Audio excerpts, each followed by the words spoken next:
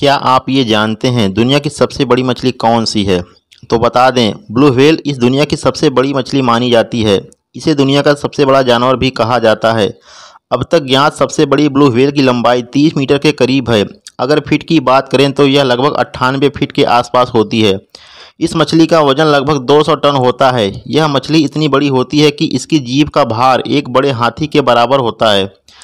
Blue whale अपने भोजन का आहार प्रतिदिन एक टन छोटी मछलियों का करती है। क्या आप इसके बारे में पहले से जानते थे? कमेंट करके ज़रूर बताएँ। यदि वीडियो अच्छी लगे तो वीडियो को लाइक करें, चैनल को सब्सक्राइब करें। धन्यवाद।